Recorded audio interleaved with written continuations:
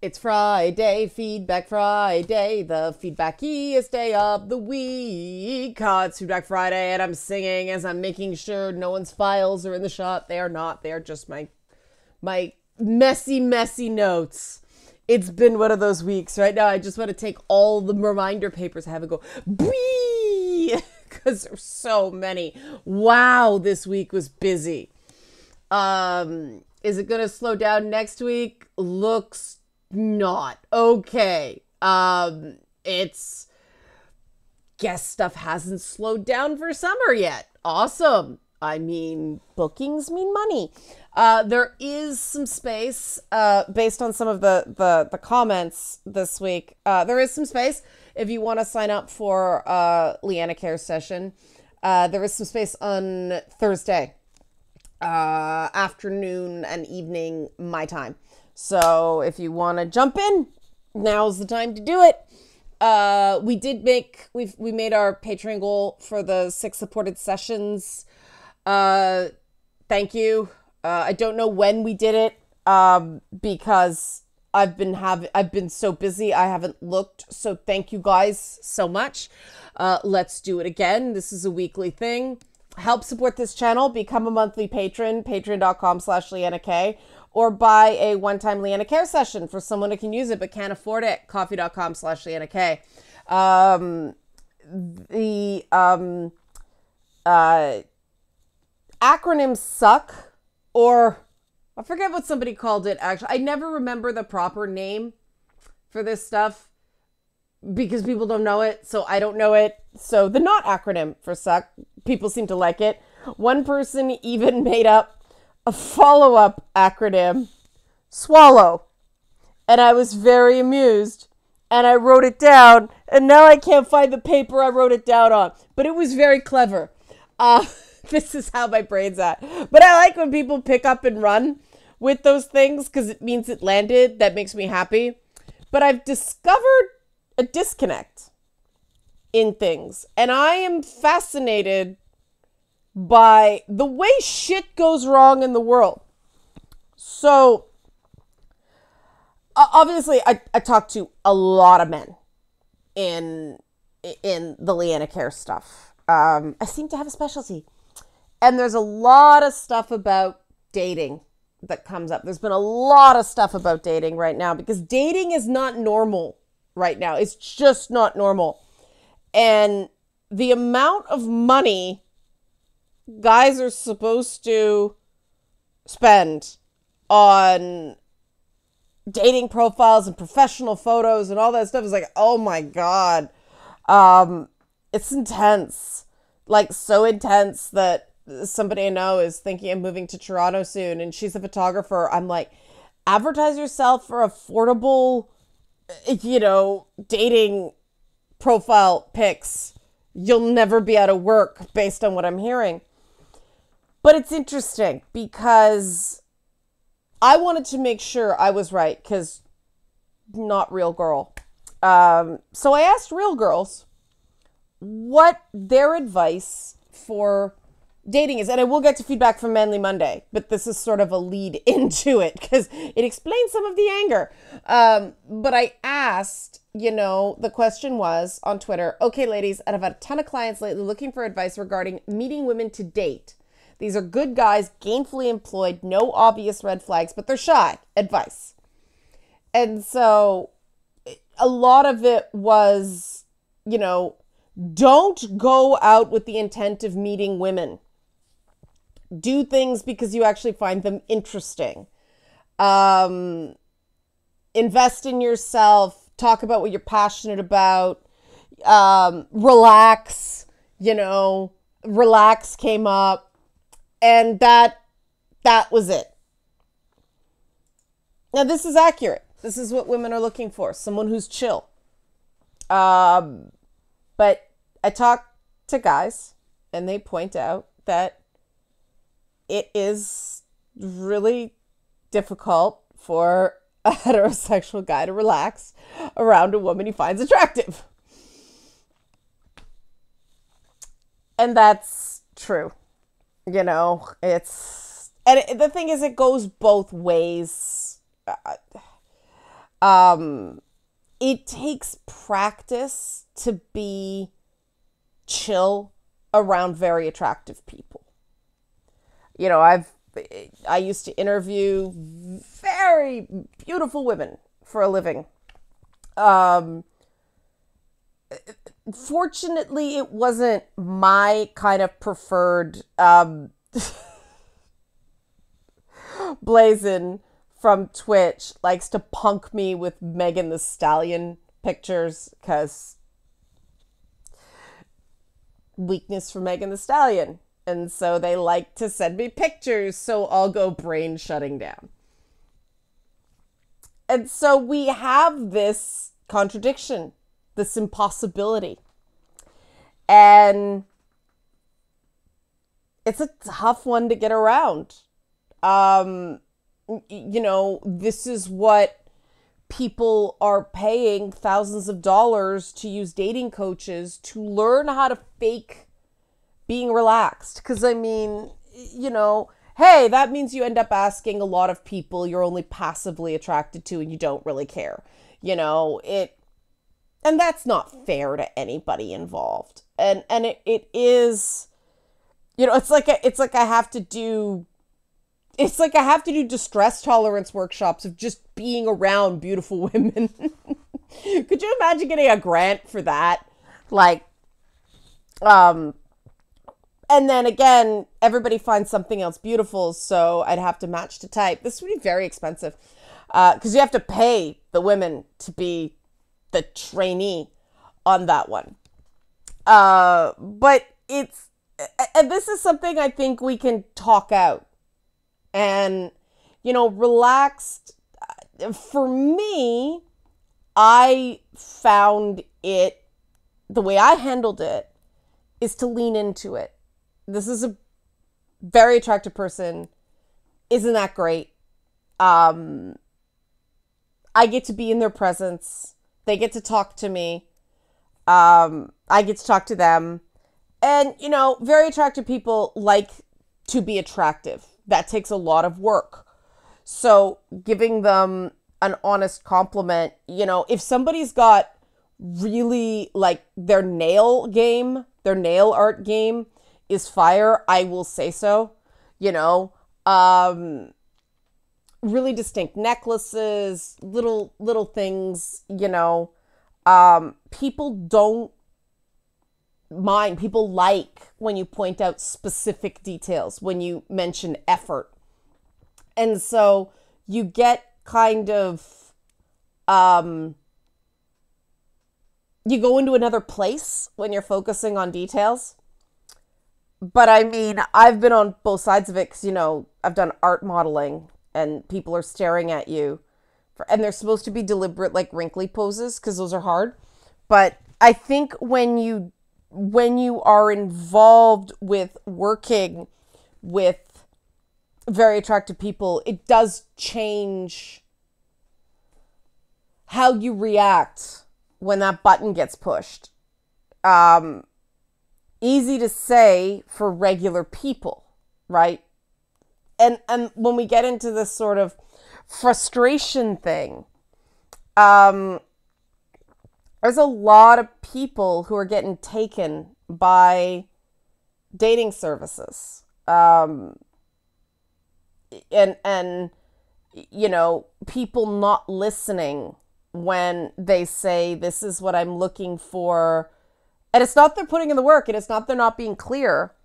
And you know all these systems that are designed to help minimize the awkwardness are just making it worse because they're not actually following the profiles because they don't have enough women. Right now, women are just not going back out yet. It'll happen, but in the meantime, how the heck can you go out and enjoy life when you're like so lonely? And that's where the social messaging comes in, right? There's being alone and then there's lonely and lonely's real um but lonely isn't the you know about the status of having a girlfriend And it is tough to sit with yourself and be comfortable with yourself and not get frustrated. And you will get frustrated, and that's fine. Feel the frustration and come back out of it. But there's so much blame messaging on on straight cisgender men. And you notice I didn't add white because you know, a lot of the guys I'm hearing this stuff from aren't white. It's just if you are a straight cisgender man, and I'm not saying that I'm not saying that everybody is projecting this messaging. It's just um there's enough everything's your fault messaging out there for guys to feel like the world is telling me everything's their fault. And it's not. It's just the loudest voices get heard. And no one's being no one's getting benefit from the way this stuff is being discussed right now. I talk a lot about how men are frustrated. Women are very frustrated too. Like I totally get it. Um I get sick of being what I read as condescension. Um apparently that's the way guys talk to each other. I don't talk to guys like that way. I don't talk to, to women that way. Uh, but okay, if guys in their orbit are talking to each other, like I, I believe them. There's no reason they'd lie. Um, some don't. Some admit they're being condescending. Um, but it's everybody's angry. Everybody's walking around frustrated. And of course, we're taking it on each other because, you know, the closest people are going to bear the brunt of that. And it sucks for everybody. And I think that maybe the best way to handle it is to start by going, it sucks for everybody. Like you you got to realize I hear people's deeply personal stories. Uh, it's now every day of the week. I had to take people on Monday and Friday this week to fit everybody in. And uh, you know, so you're not alone. And I think one of the things that we can take off the table is the idea that there's something wrong with someone or they're a loser or something if they don't have a certain amount of, you know, sexual experience by a certain age. Rest in peace, Sue Johanson That one hurt. Uh, she was 93. She died this week. Um, for people who don't know, Sue Johanson was a, um, a public health nurse, I believe, that started in Don Mills. I, I worked in Don Mills. So it's a very, you know, uh, economically underprivileged area. Um, but she started a show called Sex with Sue. And that's all I'm going to say about it because the last time I talked about Sue Johanson on YouTube, I got demonetized. So, uh, but a lot of my opinions about how to talk about sex, in other words, very bluntly and openly, came from that lady. So, rest in peace, Sue Johanson. Um, and that's where we get to, you know, I, I I'm gonna be the Sue Johanson of feelings. We're just gonna be real blunt about it, uh, because I love it when somebody's been around a while and then like a fire gets lit under them and they sort of come out of their shell. And there's been some of that happening lately. But again, that's why I wanted to talk about anger because I would rather, you know, I don't be, being angry is one thing, being mean is another. And it's all about releasing it, first of all, in a healthy direction, not at the wrong person, but also, you know, in a controlled release instead of an explosion that goes everywhere. That's one of the things I, I, I work with people with. But there was this respectful disagreement in the comments on on Monday. And I like to reward respectful disagreements because it was about a topic, like it was about a uh you know, whether or not working anger out in therapy is enough and whether the message to, in this case, men, but everybody to just, you know, cart off your feelings and talk about it in therapy. Is that enough? And no, it's not enough. It's not, it's not,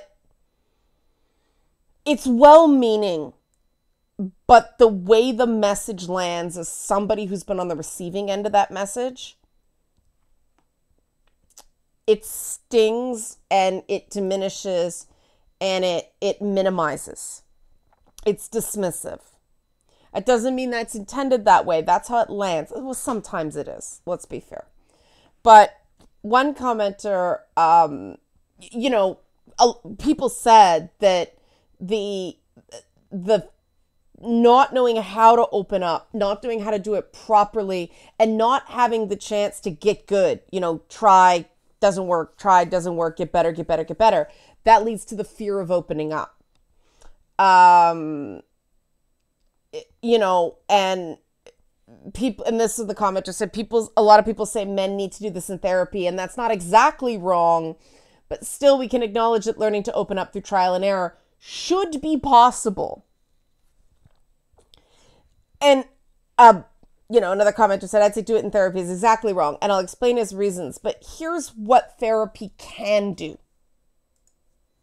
therapy can help give you wordings, it can give you ways. I try to spend a lot of focus on making someone okay or helping someone be okay with not being okay, explaining how I got okay with not being okay, and how I learned to express, you know, that is not okay uh, without raising my voice at all or yelling or anything. There's no explosion.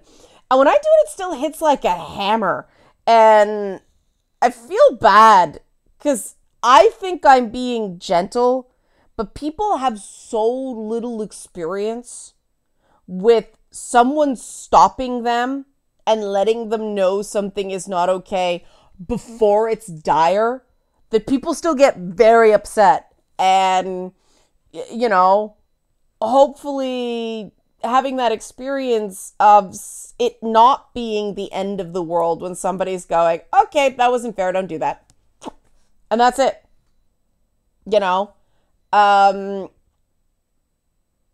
but they're and, and i do that because I do believe very strongly that people need the chance to learn. And it's if somebody isn't in the mood to be that chance, that is totally fair. Not everybody has to do it. I, you know, even if I'm like, oh fuck no, like even if I get up in someone's face like I do on Twitch, uh, because it's 20 people and me, 20 people on a small night. But so what? Like, it's over. It's over, you know, for me. It's there. I said my piece. I set a boundary. I said it's not okay. I explained why. For me, that's it. And that is not the experience a lot of people have. And I do think that that is something we can all do to take the pressure off. You know, if, if you don't like feeling bottled up all the time. Be aware, a lot of other people, especially, God, you know, neurodivergent people, and I, I try not to say neurodivergent because I know it bothers people, but it's lumping in uh, autism, ADHD, uh, OCD, and then people like me who don't have an official official classification, but it's like, oh my God, what is wrong with your brain? uh, I had a chat with a buddy of mine this week where he's like, What does the number 13 taste like? And I immediately said, Peanut butter and chicken. Um, and he said, What does paisley sound like? And I said, Polka. And they were like, Instant. And that is how we communicate. That's not normal, but that's my brain. And I know that I, you know, I'm not identifiable for anything, but um, even that's exhausting dealing with neurotypical people. and you know, you can say autistic and allistic, but that doesn't factor in people with ADHD. And ADHD is, you know, I work with so many people with these conditions. The more, you know, the more serious cases, yes, those are serious deficits. And, you know, the fact that there is medicine that works and, you know, learning systems that work those but more and more you know people with people who are like i hate the term high functioning but uh, you know people less affected by i there's no good words. This is where we get into um high functioning autistic people it's they fill a very important role in society. They enjoy doing things that other people don't enjoy doing. You know, um, when one client says, "I uh, give me monotony, I just won't accept tedium." I butchered that quote, but you know, like he can do the repetitive tasks again and again and again. He doesn't find that tedious.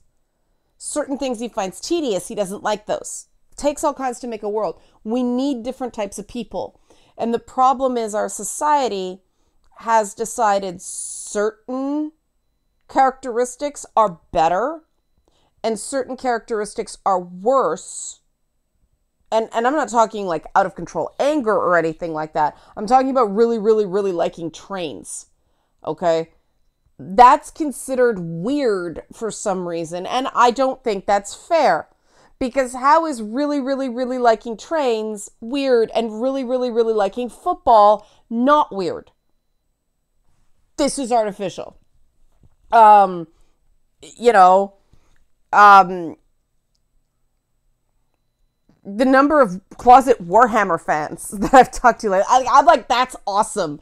It gives me new faith in humanity because, you know, I've always been like with Warhammer, it's like, yeah, it's really fucking cool. It just looks really cool. But you can't say that because then people are like, oh, you're a stupid moron. And no, the Warhammer fans I know are the opposite of stupid morons. This is why talking is so important. Because the more people you talk to, trust me, I talk to a lot of people. I need a different place in my brain because, you know, the fact that somebody as introverted as me became an interviewer, like a communicator for a living, that's really fucking weird. My fascination of people overrode the oh god, people are scary. And I mean that that's why I want to pass things along because it, it isn't easy for me. Um so there you have it. So let me get to the, the, the comments.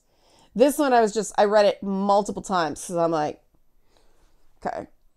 Uh, understanding how to open up and express one's feelings is a critical skill for existing as a human. I'm going to read that again because that was brilliantly put.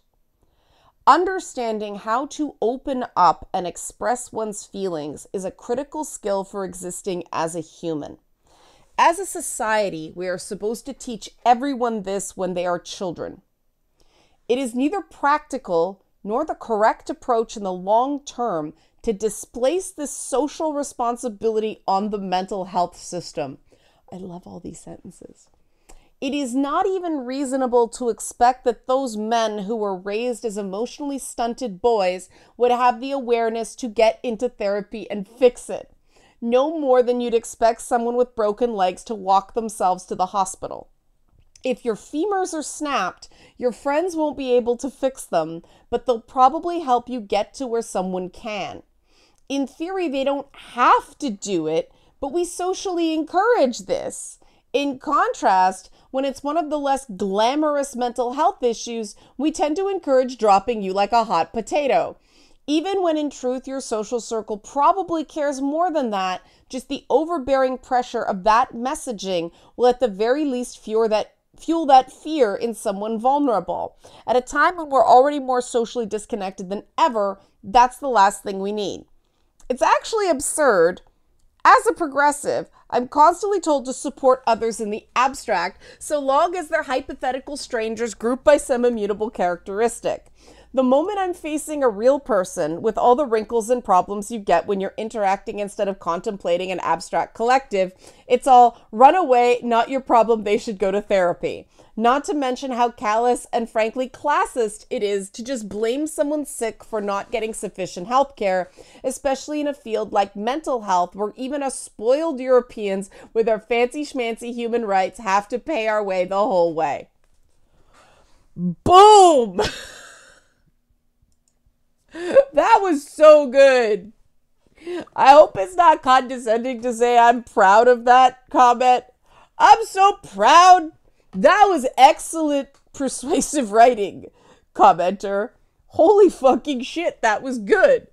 Like, claps for the comment. That, yes, there is a glamour to certain mental health issues. And there definitely is, like, media has sucked at showing mentally healthy relationships. Um, I was actually kind of impressed, but I finally watched Strange World. Not at all what I expected. Disney fucked up the marketing on that movie, and they actually have three generations of very different men in a family. And, but they've created a world where normal is set differently, and it's really interesting. Um, yeah, really fucked up the marketing on that one. It it it got bogged down in something that uh, really was not an important detail. And that's the whole point. Like the fact that the grandson is gay is just normal. It's not you know i hate saying it's not in your face because to me too many heterosexual relationships are in your face. And certainly too many lesbian relationships are way in your face. But you know um uh you know the the it was a teenager and it was depicted appropriately in that it wasn't it was i like you you like me. It wasn't and i hate going here but it wasn't sexualized. It was you know it wasn't the john kent superman arc. It was yeah it was disney movie it was right where it should be. It was really good. Um, so uh, somebody else said, um, and uh, I can agree that we are socially trained to conform to what is expected, especially to the point where certain dumbasses are shocked when you get angry, or even explode when you can't bottle it up anymore. Or is that just me? Not just you. Have an outburst in the classroom. My response from staff was always, don't be cheeky. I'm sorry that happened to you, commenter. Being cheeky is try to get a reaction that makes one laugh or deliberately have some sort of negative reaction, as far as I'm concerned. Yeah, I don't think getting overwhelmed, because that's what the blow up is, right? It's getting overwhelmed. That don't be cheeky is a dismissal of the intensity of that emotion. You know, growing up, I didn't really fit in anywhere as well as at home. My brothers were nice when they wanted something, but would shove me in a corner and then abuse me for being antisocial. My games weren't mine, even if they were meant to be. My clothes were embarrassing unless they needed to wear something. I buy something to treat myself some snacks, I save them, come back home from school, college, half eaten with no regard to how I feel about it. I've developed selfish tendencies because of this. Can hardly blame you. I even had to take my Xbox 360 hard drive to school in my bag so they weren't in my room refusing to get out at the best of times. Wow. Okay. So no boundaries, right, in this family or threatening me with a beating because I just wanted to be alone to play my games. Even when I had money to myself, albeit from benefits due to my problems, they descended like a pack of ravenous vultures in a feeding frenzy. When I finally started sticking to saying no, I can't help but feel like I won especially since I never gave in. Even now, I say no still because I know I won't get that money back. I can rightfully blame a specific person for my physical disabilities due to my brain damage. Fair.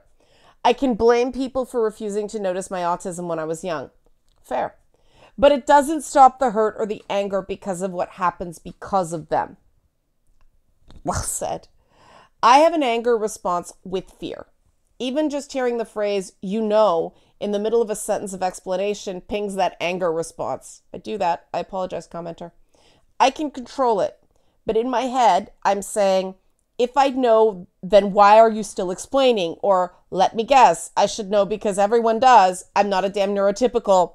If I was never if I was never properly taught, then how am hell am I supposed to know? And that comment was like, oh, kick in the feels. Because I pepper my speech with you know and right because I was told I was too aggressive and blunt when I didn't do that. And they've actually found that women use more of those, what they call seeking agreement or seeking consensus statements than men do. And that is social training. I put those in my speech so that fewer people think I'm a bitch. Notice I don't expect zero people to think I'm a bitch. It's just not going to happen I have thoughts and opinions, and it's this world. And so the fact that something I did, an adapt an adaptation I made to make other people more comfortable makes this very nice person who's been through a lot actively uncomfortable. Ugh. And he's not asking me to change anything. I know that. I think it's a he. Um, I just assumed gender. Apologies. Um, but I mean, this is one of these things where this person was big enough to say, it bothers me. I can control it. Not asking me to change actually makes me like, okay, I'm not, here's why I'm doing it. Commenter, that's why. That's why I explained it because it's like I'm doing that as a you know you know I just did it. You know, you know. I double you know. Oh my god, I quadruple you know. Ah! you know. Ah! yeah! It's a tick. It's seeking consensus. It's like, you know what I mean, right? It, it's uh to me it's used as a maybe I'm telling you something you already know maybe, not assume. And I realize when I'm talking more deliberately, I'll say, Does that make sense? To the person right in front of me. I can't do that in a video. Maybe I will try. This comment has made me reconsider my relationship with you know. I mean, I already hate right.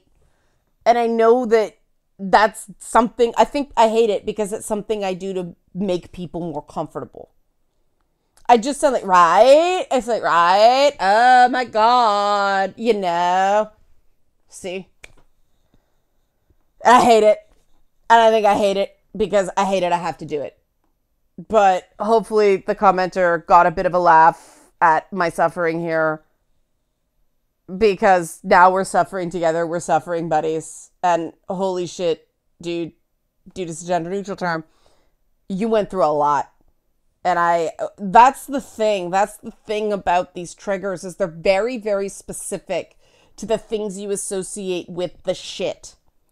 And this ties back into the first commenter's complaints about progressivism that I absolutely share I believe that we need to do more to level the playing field for for for people.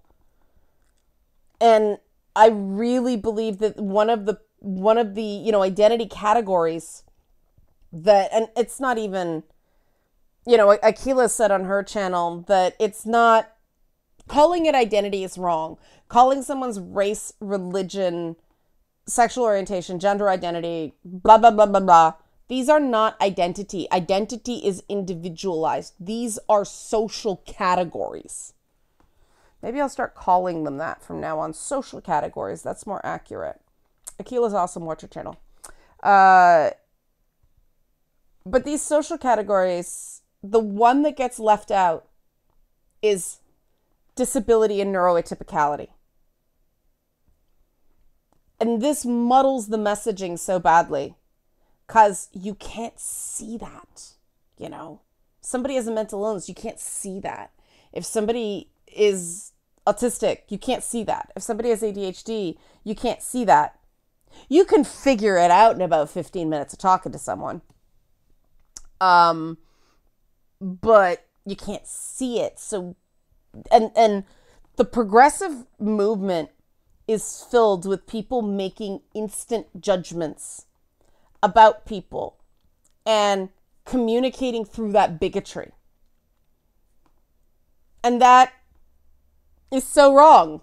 I'm aware. And I I think, you know, I consider myself progressive, but I'm not a joiner. I'm a punisher progressive. I don't join. I just go out and I like, you know, make a lot of people miserable, maybe out of revenge, but for a good cause. Um, but I, the Punisher for me is it's from Marvel Civil War, and Captain Team Cap and Team Iron Man were all up on their soapbox, and, and Captain America. I think it was in in uh, Cap's bunker, where he's like, "I don't actually agree with you. you. You just, you know, you're less irritating than the other side. You know, the other side's just pure fascist." So he didn't say that, but he was just like, "I think you're all stupid, but I'm here," and that's how I feel in progressive circles. You know, conservative circles I just don't last five minutes because I'm like, ah, you're wrong. Um, but it's almost like I hear from a lot of uh, black, brown, Asian, and indigenous friends that they prefer their racism where they can see it. They'd prefer somebody be an absolutely flaming racist than them finding out they harbor these things because it hurts and they let them in and now it's scary. And that makes complete sense. And i do think that that there's a lack of consistency in progressive circles. And and my demand for consistency and i hold myself to that um, is what got me canceled from progressive circles the fact that i won't give up having a brain because I happen to have huge boobs is what got me canceled from conservative circles. Not that I was ever there, but you know, they come for me too. About my boobs. I wish I was kidding. Uh, but I, I, the the hypocrisy in progressivism is something that has alienated a lot of people, and that's really real. And I don't know what to do about it other than have my own community where people can talk about this stuff. And that's why I really appreciate everyone's passion. I appreciate that, you know, that disagreement was purely on points. It wasn't personal and it didn't assume what anybody thought, you know, in that in that exchange back and forth. The first commenter I think was just giving points to people he agreed with and saying, "Well, that's not wrong. There's more we can do." the other commenter sort of picked up the baton and went, no, it's totally wrong. And that was actually a form of agreement. Um, and I, I do think we can not just get a lot accomplished that way, but we can actually let people know that this, you know, if you're sick of all the extremes, this community is for you. And we are actually, actually accepting of different points of view and people who are different as long as you're not an asshole. And we're going to hold us all ourselves all accountable for this. And you, you'll notice I avoided saying you know almost completely in that little bit. And I'm going to quit while I'm ahead. Help support this channel. Become a monthly patron, patreon.com slash Liana K, or buy a one-time Liana Kares session for someone who can use it but can't afford it. Ko-fi.com slash Liana K. Help us make our goal for the first week in July. And happy Canada Day in the in Canada over the weekend. Happy 4th of July. That'll be Tuesday, but I'm sure people will be celebrating over the weekend. And in Europe, happy whatever formerly pagan festival is now a summer holiday for you too. Please share in the comments.